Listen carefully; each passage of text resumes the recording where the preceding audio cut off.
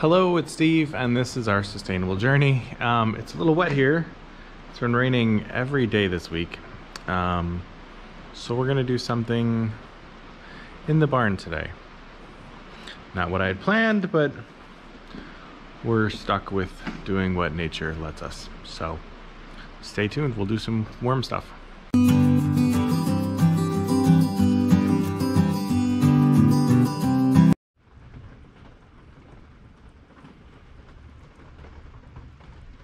I had a conversation yesterday with someone um, that was just getting into worm farming, I guess, worm farming.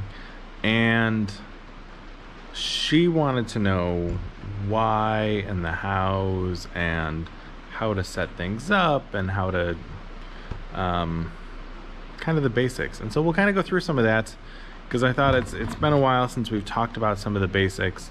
Um, and so I want to, you know, we've had a lot more people um, subscribing to the channel, so I want to kind of go through some of the basics because um, not everybody can set up giant CFTs like we have here. Um, you want the more traditional bins. You you you want a little tote in your kitchen counter. Um, I can't do that because you know we have 500 pounds a week coming in. Um, so what I want to show you is how we set up our traditional bins back in the day when I first started, you know, with five or 10 pounds of worms in a 15 gallon tote. Um, this is what I did. So we took two of these 15 gallon totes. So these, there you go. That's what they are. Um, pretty standard tote. Any tote will work. I like the black ones because then there's even more protection from light for the worms, but it doesn't really matter, honestly. They'll go away from the sides. You can use clear ones. You don't need um, black ones. And I think there was a sale at Menards at the time or something. I don't know. And so then you get a second one, okay? And you have a second one, and this one gets a whole bunch of holes. So hopefully these show up. You can see all the holes on the bottom and on the sides and you stack them okay? Now couple different things going on. The air holes provide airflow and the ones on the top provide airflow. The ones on the bottom provide drainage. We want drainage because you don't want your bins wet right? Like filled with fluids. And the stuff that comes out the bottom is called leachate. It is not um, worm tea or worm wee or any of that other junk. It is leachate. It is the leftover stuff from whatever you put in your bin. Um, or it, it's kind of a sign that your bin's too wet. So if you hear sloshing around when you've got a double bin like this, you know that there's leachate in there. You need to discard the stuff. Some people use it for their gardens. I don't recommend it because it's it's an untested um, material. You don't know whether it's you know really potent and it's going to burn all your plants or whether it's going to be good. It, it could be fine, um, but not always a good idea to use that stuff. And then the last thing is we just put a lid on it. That's it. You don't need a um, a latch or to lock it down or anything like that. The worms aren't really going to escape if you're doing this inside. If you're doing it outside, you might want to have latches um, because there are pests that like to eat worms. Um, and so you want to keep them safe. But, and then sometimes you can leave the lid off um, if it's outside. Um, if you're in a, in a decent area, you can always put like plastic or newspaper or burlap or something over top instead of the traditional lid. But both of those will work. And so that's how you set up the bin. And then you add a bedding material. So we've, we've I'll, I'll post a link up above me um, to the different types of beddings that we've used in the past. Personally, I like peat and shredded cardboard. Those are my two favorite beddings. Um, they work really well. The worms like them and they hold moisture really well as well so that um, your worms and your worm bins aren't going to dry out. So then you put that down, you put the worms in, let them settle, you put a light on top, and they'll settle into the bin. And that's kind of the basics of the worm bin. This is one of the bins from that we set up last week with the sifted um, remember the material that was unsifted, I guess, that didn't make it through the sifter two weeks ago. Two weeks ago? I think it was two weeks ago. So we'll pop this open. Worms on the lid. That's okay.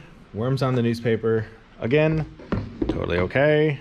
Um, they're going to explore. It's just what they do, right? It's not a sign of anything bad. You can see everything in there is keeping moist. So the worms are happy. Um, and so this is what your worm bin will typically look like when you open it up, right? So you're going to see some worms. Grab this.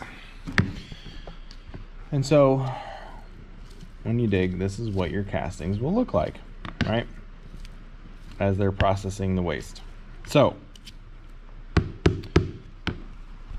different ways of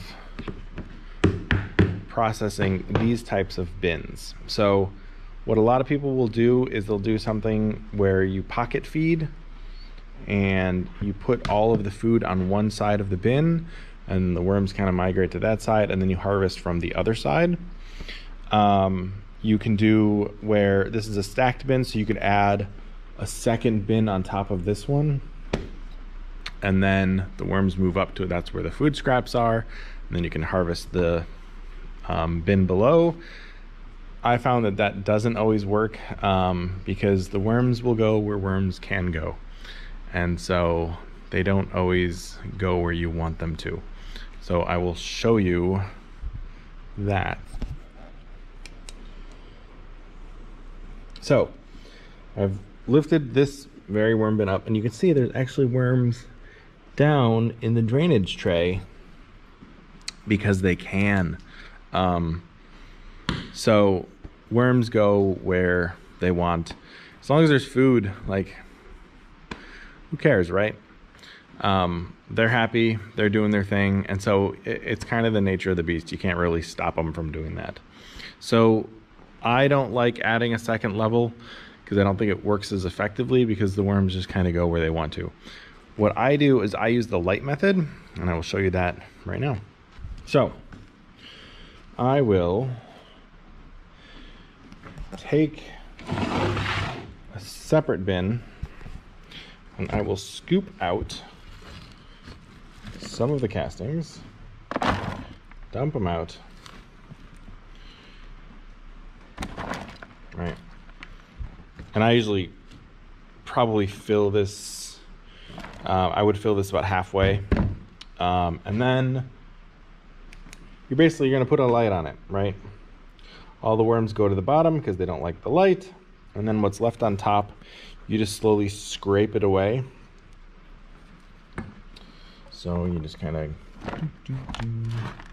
pull it away, move it aside.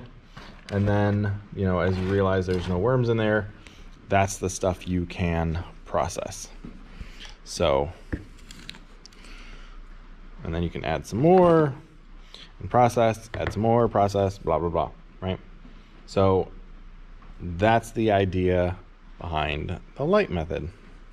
Um, other things you can do is pull some out, put food scraps. So it's kind of like the pocket feeding idea, where you can put some on one side and um, they migrate over there in theory, and then you can harvest the castings from the other side and sift them. Um, and I want to show you I will show you the sifters that I used to use. So they have these, I don't know, they're like gold panning um, things. And what you do is you put them on top of like a five gallon bucket. They fit perfectly on a five gallon bucket. And then you put the casting material that you want to sift into this. And then you can just pop it through these bad boys. And what's left is good stuff, right? So you just take a scoop, put it in here, take it around a little bit, and then you get good castings, just like that. Like It's that easy. Um, and then you can go even finer. I think they have like five levels. So this is probably an eighth of an inch screen. This is 1 16th. You're gonna basically get dust out of this. Um, but that's that's what we that's what we'd use, and I would go through. I think at, at one time I had 34 of these bins that we were feeding on a weekly basis before we got into the the big CFTs. Um, it would be an, a, a whole day job. Um, and so that's how we did it. You just keep it simple. Um, and these are cheap. I'll post a link to them through the um, Amazon affiliate thing because um, they're they're awesome. I like them. We still use them for stuff, um, and they they get the job done, and it's low key. Um, and you don't need, I mean, you don't even need these. You can use like chicken wire. You can go to your local big box store and get something simple to sift. Um, or you don't even have to sift. You could just um, eyeball it. You know, like, all right, this this looks good enough for my garden. You know, like it doesn't have to be perfect, um, depending on what you're using it for. Because um, that's the real real thing to think about um, is what you're using it for. So if you're only using it for yourself, these are probably totally fine. Um, I wouldn't worry too much about it. But if you're if you're having customers and things like that, you want it sifted. You want it to look, you know, it's all about presentation, right? So you want it to look nice. So I'm gonna put all this back in this box, and we'll talk about other stuff. Another question I get asked a lot is, how many worms do I need? Um, there's a lot of factors that go into answering that. So, what I tell people is to figure out how much food waste their family's producing, right? We have a family of five, um, plus the animals, so I don't necessarily count them. So it's kind of skewed because we give some of the scraps to the pigs and the chickens, but we go through about five gallons a month of waste. Um, Awesome. Flies. So that weighs, let's say it weighs 25 pounds, right? So that would be about, we'll call it six pounds a week. And if, so if we go through six pounds of food scraps a week, that's a pound a day on average. And so that would mean that we need two pounds of worms. And that's it for our family of five. Um, I have some people who are going through 25 pounds a week for a family of two. Um, it depends. You know, vegetarians, they go through a lot more food scraps. Um, not a not a bad thing. Like you know, bananas and apples and oranges, they all have leftover food waste. There's nothing wrong with it. Um, so they're going to produce more. Um, so it all depends on your situation, the size of your family, and how fast you want the stuff done or how, how much time you want to spend working on it. You know, you could always get 10 pounds and then you never have to worry about it because um, they'll just take care of stuff quickly and then, you know, kind of eat some of the bedding and chill in the bin. Like they'll regulate their, um, their population. So that's not a big deal at all. Um, so that's one one question that I get a lot. How big of a bin do I need? Uh, same thing. How much food scraps are you producing? How much waste? Um, and where are you going to put it? You know, you probably don't want one of these 15 gallon totes on your kitchen counter. You probably want it, you know, under a cabinet or in a corner, in a closet, something like that. Like, not everybody wants to be staring at these things um, like some of us do. Um, so that's another thing. Are there, you know, do you need to get one of the commercial ones? No, of course not. I, have never used one of the commercial ones. Um, I just don't see the point when you could just use a a ten dollar tote from Target or Menards or wherever. Uh, you don't need any of that fancy stuff. You don't need any fancy equipment. You don't need a sifter like we have.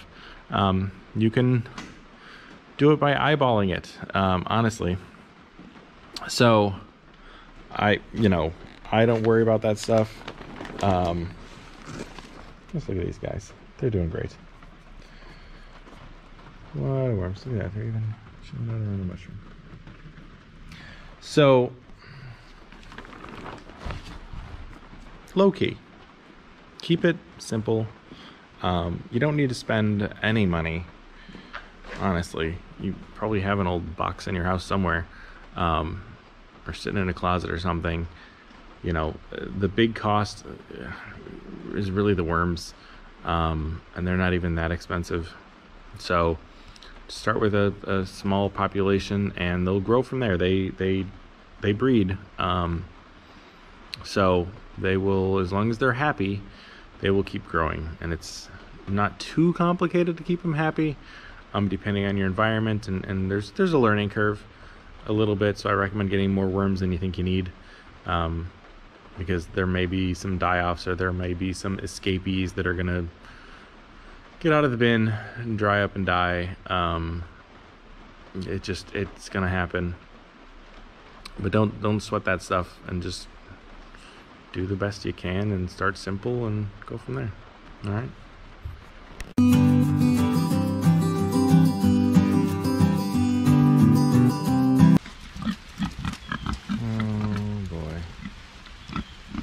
sink.